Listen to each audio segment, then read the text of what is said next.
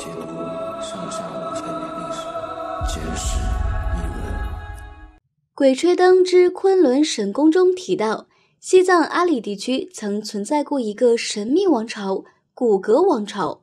这个王朝并非作者杜撰，在真实历史里，它确实存在，而且一直存续到明末清初。但令人费解的是，四百多年前，它突然在一夜之间灭亡。而整个王朝近十万人就此消失得无影无踪。当时究竟发生了什么？他们为什么在历史上突然消失？传说中双眼犹如活人般的骨骼银眼象又是怎么回事儿？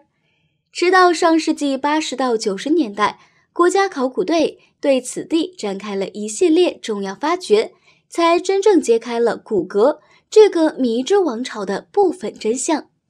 第一，一个二十世纪之前都无人知晓的未知之地——古哥王朝遗迹发现的非常晚，在整个二十世纪之前，没有人知道在藏北雪域高原上还隐藏着一个神秘王朝的遗迹。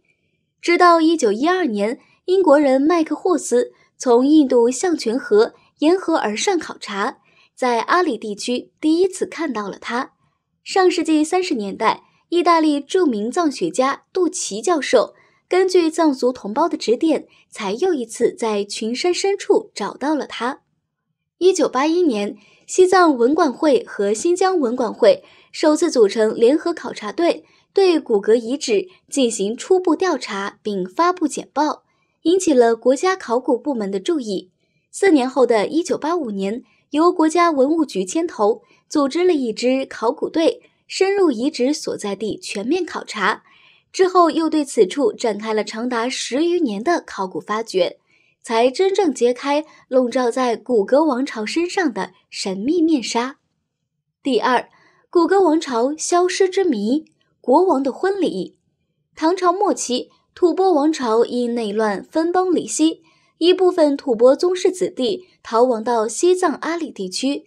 并在此处建立了一个地方性政权——古格王朝。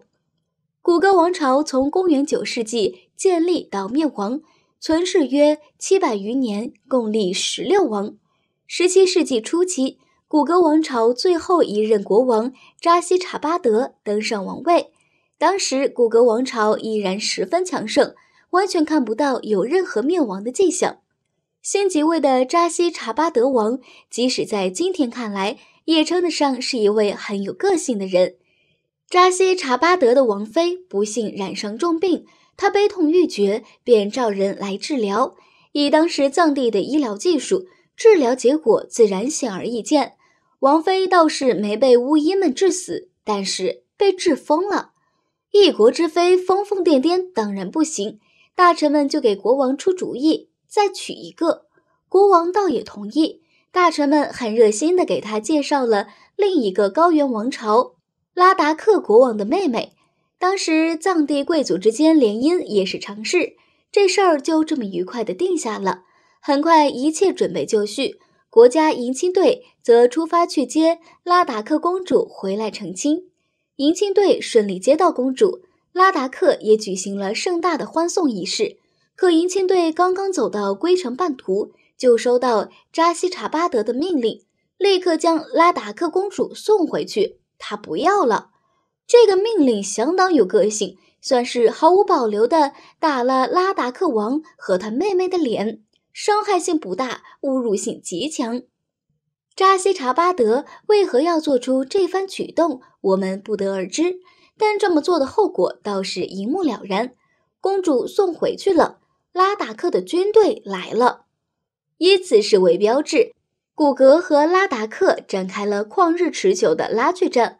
古格在这场悔婚战争中受到重创，国力急转直下。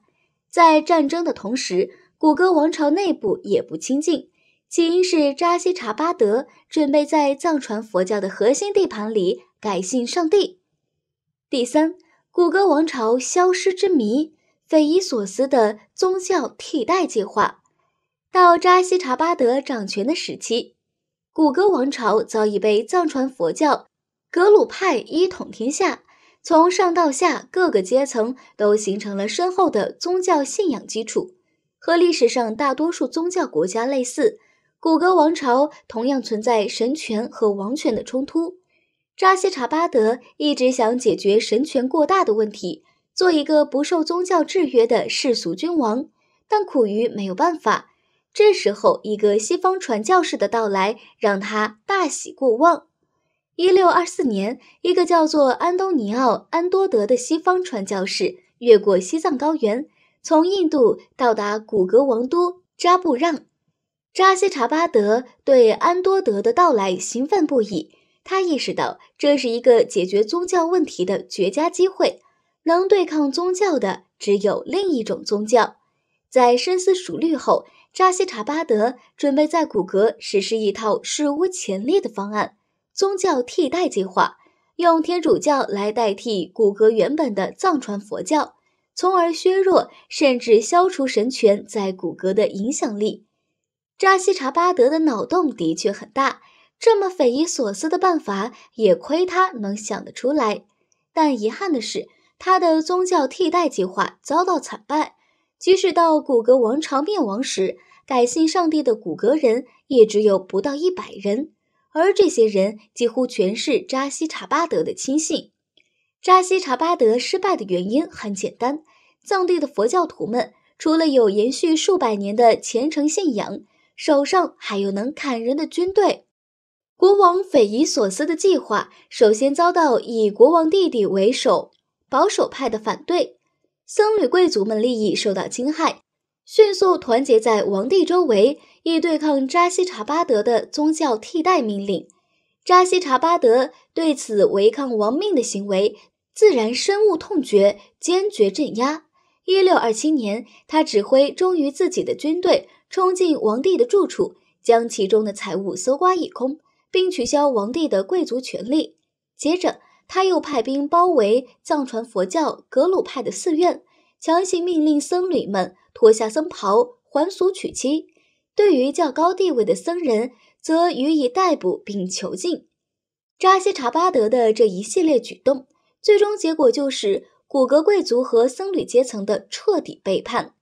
宗教替代计划开始三年后，扎西查巴德患了一场重病。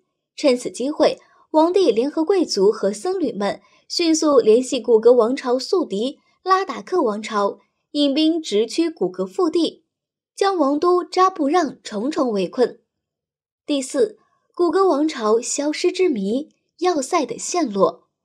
扎布让是一座建在高山顶上的巨型坚固石堡，古格人将山体掏空，中间以石洞相连，而上山的主要道路只有一条，堪称天险，易守难攻。一九八五年的考古发掘。共计找到窑洞八百七十九个，碉堡五十八座，暗道四条，武器库一座，粮仓十一座。就这样一处地方，以当时的战争水平，根本就攻不下来。但令考古学家疑惑的是，如此坚固的要塞，为何能被拉达克的军队所攻克？根据文献记载，扎布让在被围困多日后。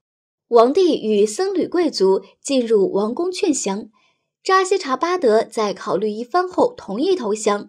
王帝又要求哥哥到山下敌军军营举行受降仪式，扎西查巴德也同意了。然后他和儿子一同走入敌营，结局很明显了：这一进去就再也没有回来。扎布让就此被攻陷。这番记录可靠性很高。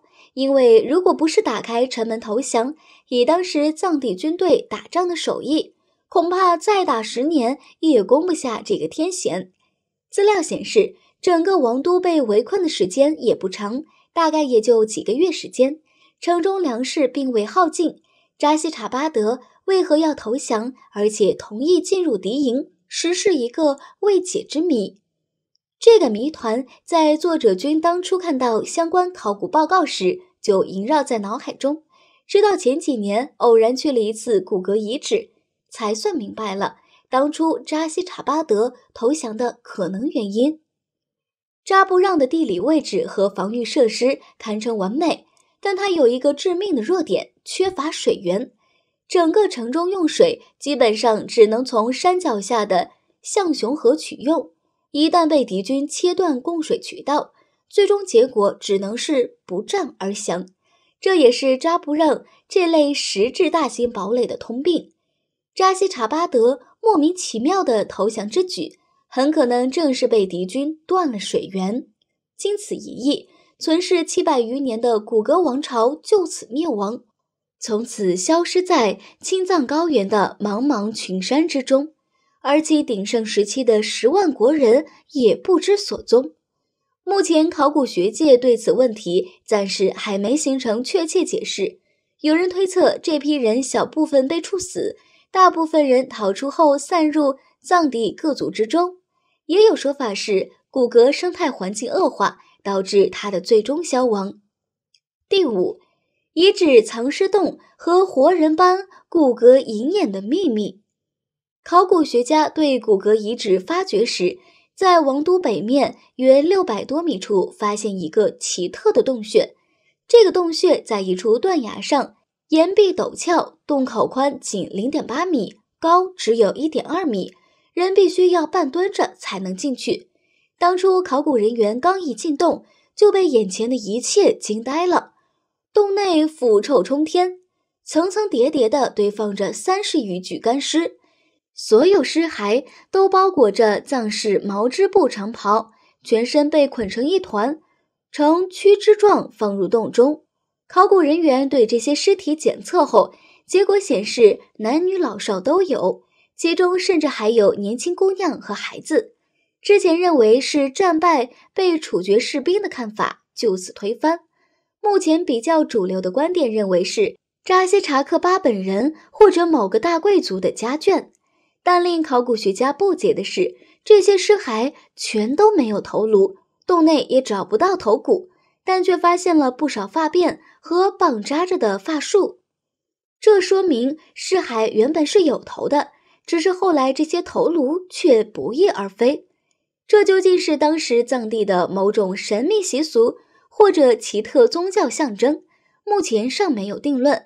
各位有什么看法，倒是可以讲一讲，或许能找到真正的原因哦。以上情况是当初考古发掘刚发现时的情景还原。现在藏尸洞已被开发为旅游景区，游人如织，但洞中那股味道依旧经久不散，而且特别具有记忆性。各位好奇想要去看看的，一定要先做好心理准备。最后再谈谈骨骼银眼这种神奇物事。此物在《鬼吹灯》一书中可谓大名鼎鼎，诡秘异常。古格王朝在历史上盛产黄金，他们有一种特制的经书，用金枝银叶书写。这种经书写在一种特殊的呈青蓝色的纸面上，一排用金枝，一排用银枝。由此可见，古格王朝金银产量之巨。而传说中，古格王朝有一种秘制佛像，称为古格银眼，全身用金银铜铸就，其双眼尤其特殊，望之犹如活人。民间流传佛像甚至可与人对视，只是这等奇物一直是传闻，从未有人见过实物，加上流传的信息过于离奇。考古学家一直以为就是个民间传说而已。一九九七年，考古学家对皮央遗址大殿发掘时，出土了一件造型极为精美的铜像。经学者们辨认，终于确认这就是传说中的至宝——骨骼银眼。此处作者君再多描述也是枉然，直接上图让大家感受一下他活人般的眼睛。在考古史上，经常有传说变成实事的情况发生。最典型的例子莫过于传说中的张献忠江口沉银被发现。而骨骼银眼实物的出土，也表明历史上的某些传说并非完全是空穴来风。古格王朝身上隐藏的秘密着实不少，虽然考古发掘揭开了部分真相，但某些问题依然还未找到答案。譬如藏尸洞，譬如十万骨骼人最终去了哪里？这些秘密的真相已随古格王朝的覆灭而淹没在历史的尘埃之中，或者只有随着进一步的考古发现，才能真正彻底解开骨骼之谜。巍巍喜马拉雅，神秘莫测的雪域高原，它的历史是如此迷人。千年的时光流逝，不知留下了多少藏地密码。唯有那亘古不变的冈仁波齐，永远伫立在那里，静静凝视着青藏高原的风云变幻和沧海桑田。这就是藏地，一个离天最近的地方。